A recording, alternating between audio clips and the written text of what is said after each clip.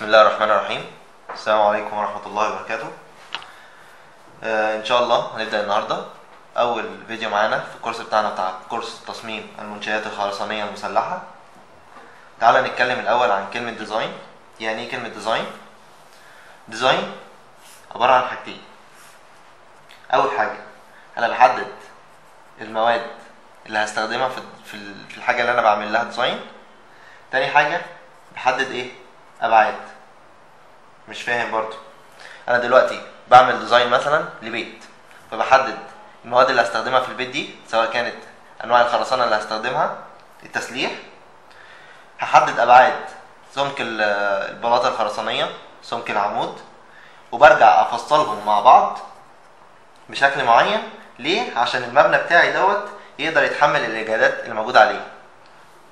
تمام؟ تمام. طيب الخرسانة بتاعتي دي أصلا بتتكون من إيه؟ بتتكون من ركام كبير اللي هو الزلط وركام صغير اللي هو الرمل ومية وأسمنت وإضافات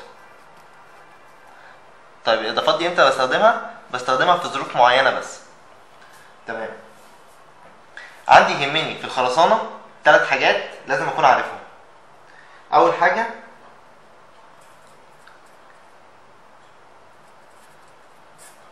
اف سي يو يعني إيه اف سي يو دي رتبة الخرسانة.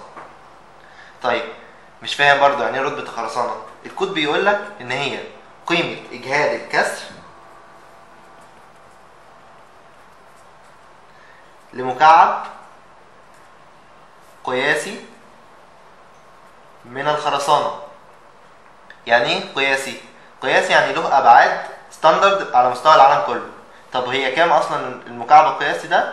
15 في 15 في 15 سنتي. طيب. طب هو ثواني هو دلوقتي بيقول لي قيمة إجهاد الكسر يعني أنا هجيب مكعب وأعرضه لاجهاد وأشوف إمتى هيتكسر؟ قيمة الإجهاد ده هو ال Fcu لا غلط. طب أنا ممكن أجيب مكعب أنا لسه صبه امبارح. ممكن أجيبه صبه بقاله يومين بقاله أسبوع. الكود قال لك إيه؟ قال لك بعد 28 يوم من الصب يعني فترة الإيه؟ الشك زمن الشك النهائي.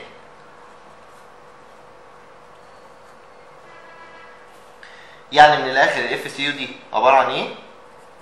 قوة تحمل خرسانة. تاني حاجة معانا حاجة اسمها ال Fctr دي عبارة عن إيه؟ دي عبارة عن أقصى. مقاومة للشد في الخرسانة. زي ما إحنا عارفين طبعا إن الخرسانة بتشيل ضغط والحديد بيشيل إيه؟ بيشيل شد. طيب يبقى أنا عندي لو عرضت الخرسانة بتاعتي لشد أكبر من ال Fctr هيحصل إيه؟ الخرسانة بتاعتي إيه؟ هتشرخ. تمام. طب إيه القانون بتاع ال Fctr دوت؟ قال لك إن ال Fctr بتساوي 0.6 x جذر Fcu تمام. تالت حاجة يهمني أعرفها ال E E يعني إيه؟ modulus of elasticity معاير المرونة اللي هو عبارة عن stress على strain طيب ال E بتساوي إيه؟ 4400 جذر Fcu طبعا الوحدات لل E وال Fctr وال Fcu newton per millimeter square. تمام كده؟ تمام. إحنا قلنا دلوقتي إن الخرسانة بتشيل ضغط والحديد بيشيل شد. طيب يعني أنا لما أجي أحط حديد التسليح في الخرسانة هحطه فين؟ في الأماكن اللي فيها شد. طب تعالوا مع بعض كده نبص. لو عندي سمبل بيم وعليها اللود بتاعها. المومنت بتاعها هيبقى شكله عامل إزاي؟ هيبقى كده. طيب معناها إن أنا لو حطيتها كده بشكل سهل ديل السهم متعرض لإيه؟ متعرض لشد. طب وراس السهم متعرضة لضغط. لو جيت أرسم القطاع عشان أشوف شكلها أدي شكل القطاع بتاعي. ال moment جاي كده فهلاقي ال moment شكله عامل كده. طيب يعني كل ده خرسانة؟ بس الحديد احطه فين؟ احطه في منطقة الشد. يبقى أنا لو حبيت أرسم شكل الكمرة أهي مثلا وأحط لها حديد تسليح هحطه في منطقة الشد. تمام؟ طيب تعالوا ناخد شكل كمرة تانية. لو عندي beam with cantilever وعليها برضو ال moment بتاعها أهوت. شكل ال moment هيبقى من هنا كده. ومن هنا كده. طيب فين المنطقة اللي عليها؟ شد هنا تحت. طب المنطقة اللي عليها شد في ال section دوت فوق. طب تعالوا ما نجرب نشوف شكل التسليح بتاعها.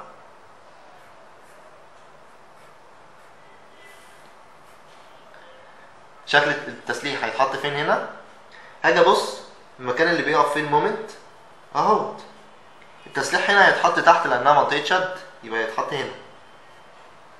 طب هنا الشد فين؟ قلنا فوق يبقى التسليح هيتحط هنا. تمام؟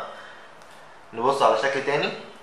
لو عندي beam with two cantilever ال moment بتاعها هيبقى عامل كده. فين منطقة الشد؟ في ال section ده تحت في ال section ده فوق في ال section ده فوق. طيب تعالى نرسم الايه؟ الشكل بتاعنا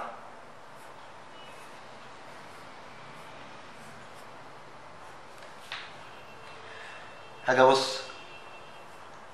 المومنت بيقف فين؟ هنا. الشد تحت يبقى حديد التسليح هيتحط تحت هنا. طب هنا الشد فوق حديد التسليح هيتحط هنا. وهنا الشد فوق يبقى حديد التسليح هيتحط هنا فوق. تمام كده؟ سهل خالص. طيب نشوف شكل ال moment تاني. لو قلنا برضو عندنا beam with two cantilever بس ال moment ال positive اللي هنا ما كانش positive كان كان negative كان كده. شكل التسليح هيبقى عامل إزاي؟ ادي شكل الكمرة.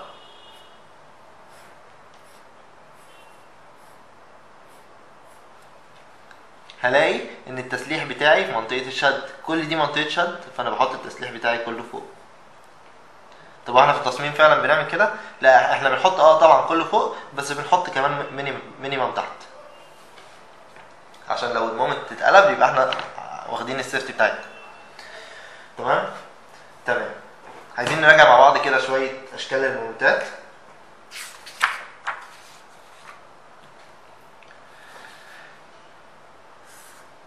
ادي دي simple beam. عليها distributed load W تمام؟ وطول ال beam بتاعتي إيه؟ L ال moment هيبقى عليها عامل إزاي؟ هيبقى مراوله كده. قيمته W L تربيع على 8 طيب. لو عندي كمرة simple وعليها concentrated load خلي بالنا بقى عشان هنا إيه اشكال ال moment بتختلف. طولها L هنا L على 2 وهنا L على 2 شكل ال moment هيبقى عامل إزاي؟ بما هي عادية بس ال moment بتاعنا بيبقى خط مستقيم كده. طب قيمته هنا إيه؟ قيمته P L على 4 طب افرض أنا عندي كمرة عليها concentrated و distributed سوا ال moment بتاعنا هيبقى عامل إزاي؟ برضو هنا L على 2 وهنا L على 2 خلينا نبص هنا. النقطة هنا اللي في النص كانت متعرضة ل W L تربيع على 8 النقطة هنا اللي في النص كانت متعرضة ل P L على 4 طب لما يكون الاتنين مع بعض يبقى النقطة اللي في النص متعرضة لإيه؟ ل W L تربيع على 8 زائد P L على 4 أهي.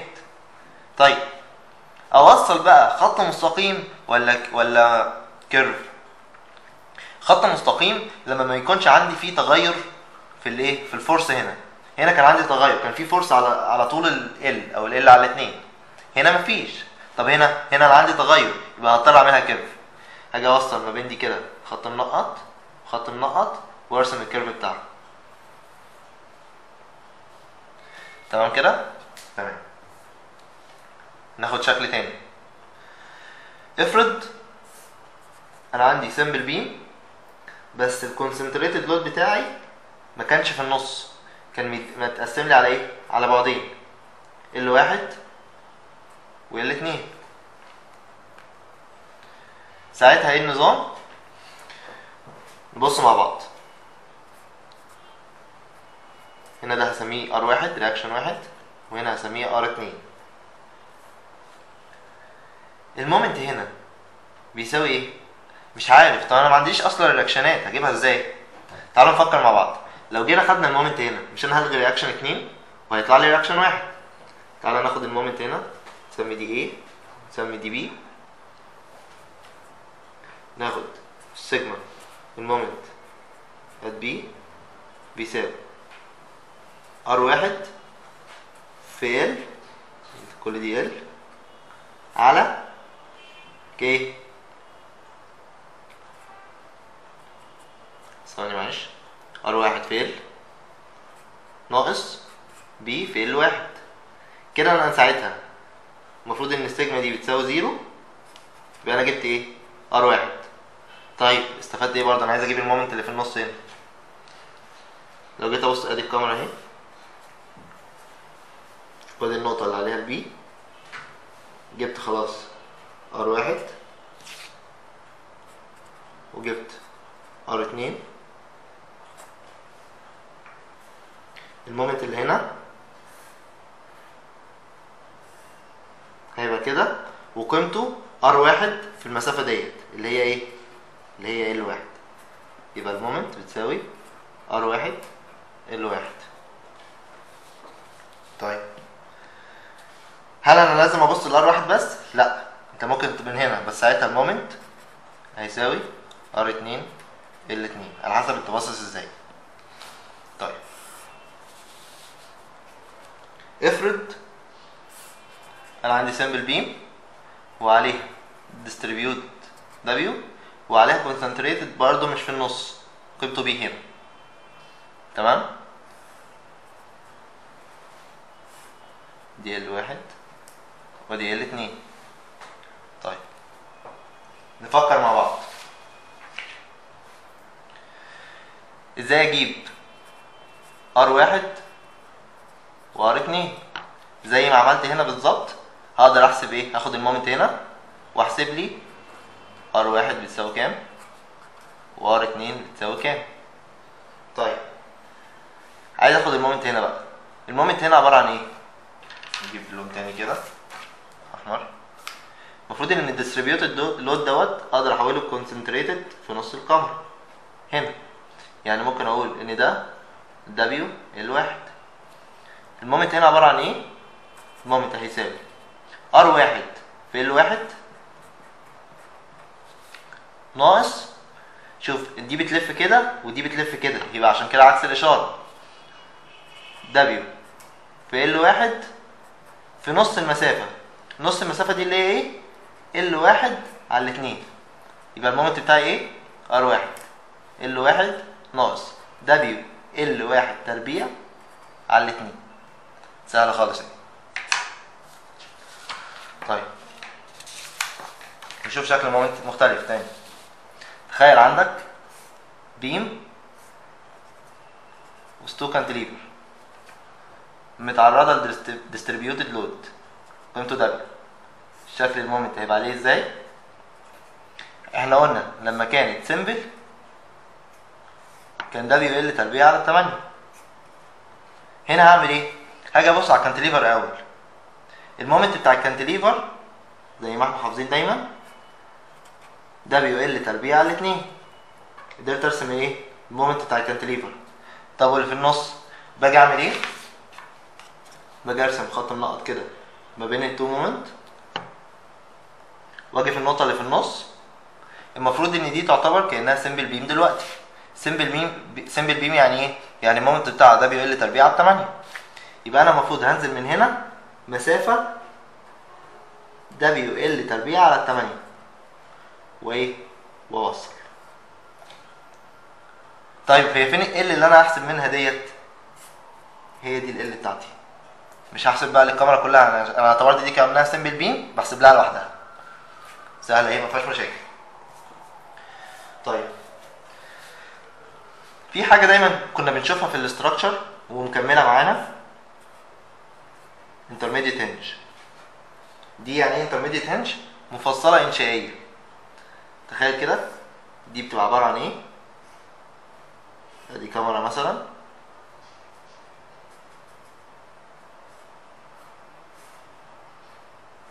وأدي الكاميرا التانية.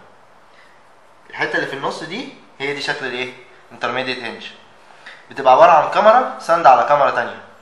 يعني تخيل لو عندي حاجة عاملة كده من هنا fixed ادي intermediate hinge. وادي hinged ساعتها هتبقى عاملة إزاي؟ لما أجي افصلها دي بتتحول إيه؟ ل hinge بقت hinge من هنا وديت hinge من هنا. دي كانت ضغط على دي. فلما اشيلها هيتحول ال reaction بتاعها لإيه؟ لفوق. يبقى ال reaction بتاعها هنا. وأعكسه على الناحية التانية. ليه؟ عشان يبقى عندي توازن. تمام كده؟ تمام.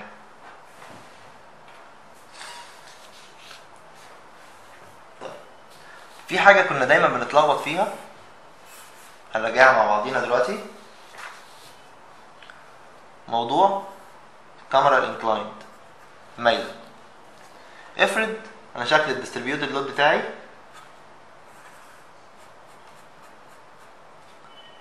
عامل كده. دي L ودي L dash طب هي الحالة دي بتشوفها إمتى؟ بنشوفها لما يكون الحمل بتاع السلم. حمل السلم بيبقى محطوط على حاجة زي ال ramp مايلة بس هو اتجاهه راسي لتحت. طيب. ساعتها ال moment بتاعها بيبقى عامل إزاي؟ ال moment بتاعها هيبقى عامل كده. طيب قيمته بقى الحمل قلنا اتجاهه إيه؟ رأسي لتحت بس ماشي على المايل يهمني ساعتها الطولين ال L و L dash يبقى W في L في L dash على التمانية. طيب افرض كان شكل ال distributed بتاعي عامل كده. دي بنشوفها إمتى؟ بنشوفها ده عبارة عن حمل الشخص اللي واقف على السلم. يعني تخيل أو الرمل تخيل أنت كده رمل العربيات وأنت واقف عليه. هل أنت هتقف كده؟ ولا هتقف كده؟ هتقف كده. يبقى اتجاهك الحمل بتاعك اتجاهه إيه؟ راسي لتحت وبتقف إزاي؟ بتقف على ال مش ال داش لأنك لو وقفت على ال داش هتقع. ساعتها شكل المومنت عامل إزاي؟ نفس الشكل بس هيبقى دبليو L تربيع على التمانية. طيب تالت حاجة افرض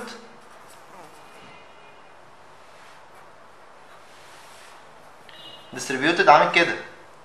ال distributed اتجاهه على L dash وتأثيره على L dash ساعتها ال moment بتاعي هيبقى عامل إزاي؟ هيبقى W L dash تربيع على 8 ودي بنشوفها إمتى؟ لو عندك سطح البيت مايل وبيأثر عليه قوى الرياح. هنكمل إن شاء الله الحلقة الجاية وندخل في ال maximum maximum moment وال maximum maximum shear ونشوف حالات التحميل معانا. شكرا.